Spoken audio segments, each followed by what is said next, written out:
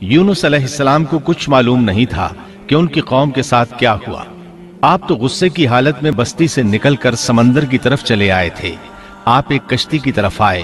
اس میں سواریاں اور ساز و سامان لدا ہوا تھا۔ اللہ تعالیٰ سورت الصافات آیت 140 میں فرماتے ہیں، جب وہ بھاگ کر بھری کشتی پر پہنچے، کشتی روانہ ہوئی، موجیں اٹھیں، سمندر میں تغیانی آئی۔ یوں لگتا تھا کہ بس ابھی غرق ہوئے۔ کہنے لگے، بوجھ ہلکا کرو، اپنا ساز و سامان سمندر میں پھینک دو۔ چنانچہ انہوں نے اپنا اپنا ساز و سامان سمندر میں پھینک دیا۔ اس طرح کشتی کچھ ہلکی ہو گئی، لیکن ضرورت کے مطابق ہلکی نہ ہو سکی۔ اب وہ کہنے لگے، کسی کو سمندر میں گرانا ضروری ہے، تاکہ کشتی مزید ہلکی ہو جائے، ورنہ یہ ڈوب جائے گی۔ جلدی کرو، قرا ڈالو۔ جس کے نام کا قرا نکلتا جائے، اسے سمندر میں گراتے جاؤ اور بار بار یہ عمل دہراتے جاؤ، یہاں تک کہ کشتی ہلکی ہو جائے۔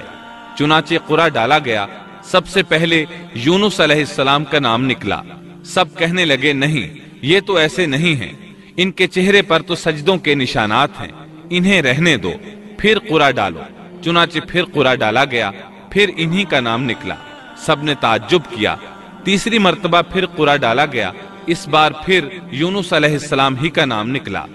اللہ تعالیٰ سورت الصافات آیت 141 میں فرماتے ہیں۔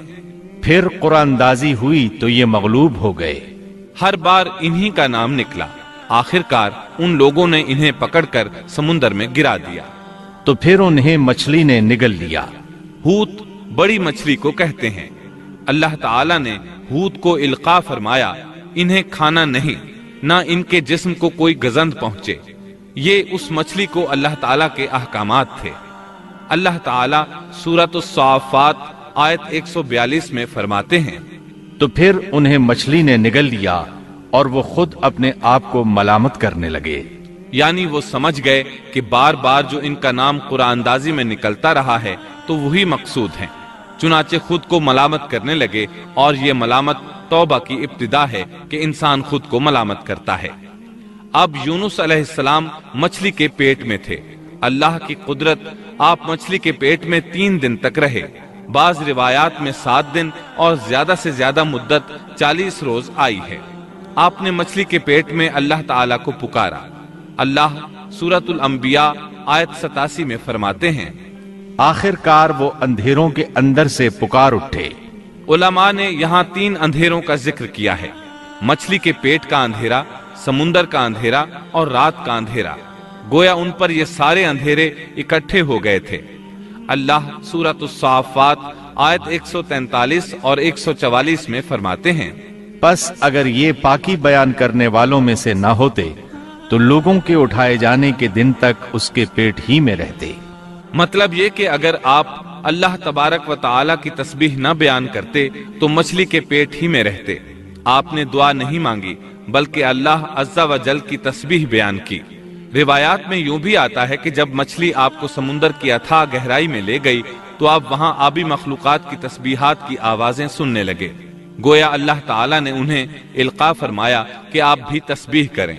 اللہ سورت الانبیاء آیت ستاسی میں فرماتے ہیں بلاخر وہ اندھیروں کے اندر سے پکار اٹھا کہ الہی تیرے سوا کوئی معبود نہیں تو پاک ہے بے شک میں ظالموں میں ہو گیا۔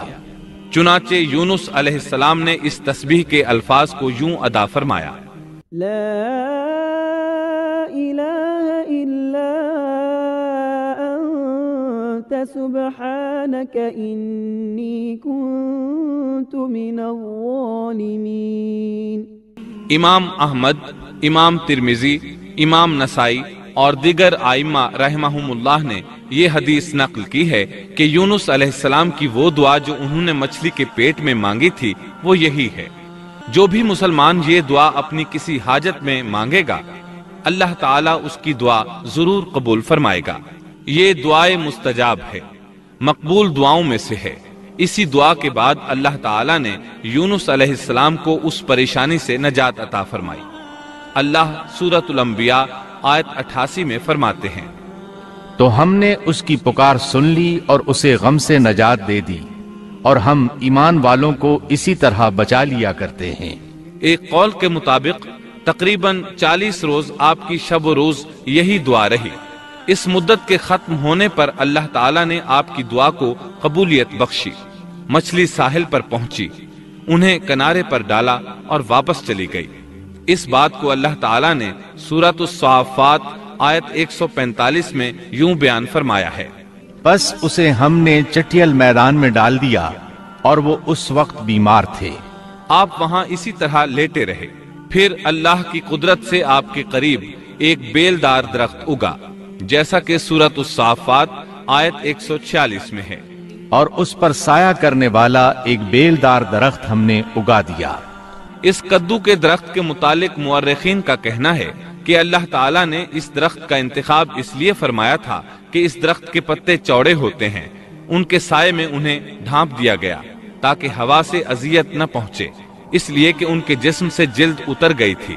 پھر اس درخت سے خوش کن خوشبو بھی آتی تھی۔ اس خوشبو نے انہیں فرحت بخشی۔ پھر کدو کی خوشبو میں ایک خصوصیت یہ تھی کہ حشرات الارض کو دور رکھتی ہے۔ اللہ تعالیٰ نے انہی خصوصیات کی وجہ سے اس بیلدار درخت کا انتخاب فرمایا تھا تاکہ آپ ہر طرح کی تکلیف سے محفوظ رہیں۔ یہ ہے اللہ کی قدرت۔ سبحان اللہ اسی طرح مفسرین یہ بھی کہتے ہیں کہ اللہ تعالیٰ نے ان کے پاس ایک پہاڑی بکری بھیج دی۔